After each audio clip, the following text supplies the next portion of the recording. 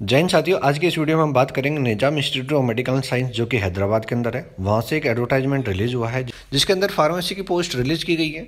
कितनी क्या वैकेंसी हैं और कौन कौन एलिजिबल है, उन सब के बारे में डिटेल से डिस्कस करेंगे। इसके साथ साथ में फॉर्म कैसे क्या फिल करना है सिलेक्शन प्रोसीजर क्या रहने वाला है, उसके बारे में भी आपको इसमें डिटेल से बताएँगे। तो आइए बिना देरी स्टार्ट करते हैं आज की वीडियो देखते हैं क्या इन्फॉर्मेशन निकल के आई है। तो निम्स हैदराबाद की ओर से जो एडवर्टाइजमेंट आया है, जिसके अंदर application are invited for suitable qualified and experience candidate in the prescribe format temporary post है ये आपकी, और पोस्ट का नाम है clinical research coordinator clinical research coordinator का पोस्ट रहने वाला है। इसके अलावा नंबर ऑफ़ वैकेंसी की बात करें तो एक पोस्ट है।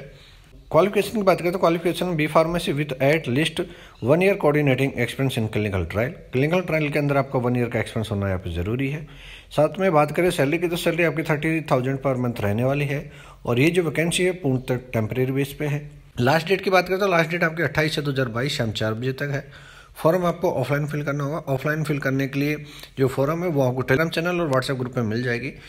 इसी के अंदर आपका फॉर्म है, उस फॉर्म को फिल करके आपको अट्ठाईस से दो हज़ार बाईस से पहले पहले भेज देना है। कहाँ पे? जो इसका एड्रेस है, वो है dean office Nizam Institute of Medical Science Punjagutta Hyderabad, Telangana. Pin code number है five triple zero eight two इस पर भेज देना अट्ठाईस से दो हज़ार बाईस शाम पाँच बजे से पहले पहले।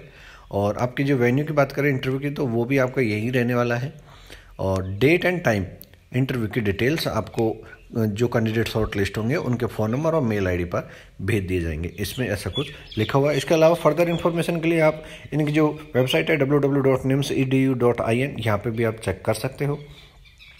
तो ये था नोटिफिकेशन इसके बाद में ये आपका एप्लीकेशन फॉर्मेट है। इस एप्लीकेशन फॉर्मेट को अच्छे तरीके से फिल करके और साथ साथ में आपको, आपके सारे डॉक्यूमेंट्स सेल्फ अटेस्टेड लगा के, इसको अट्ठाईस से दो हज़ार बाईस से पहले dean office Nizam Institute of Medical Science Punjagutta Hyderabad Telangana पे भेज देना है।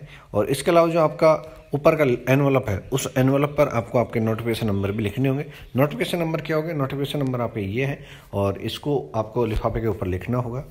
ठीक है? तो आज की वीडियो में इन्फॉर्मेशन थी। दोस्तों तक शेयर करें। इसी तरह के फार्म अपडेट्स के लिए बने रहे हमारे साथ। मिलते हैं नेक्स्ट अपडेट में। तब तक ले जय हिंद, जय भारत, राम राम साहब